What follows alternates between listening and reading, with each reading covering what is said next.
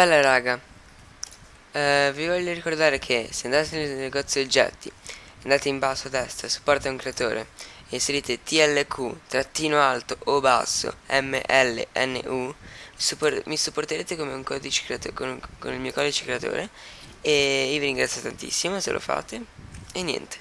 eh, bella raga.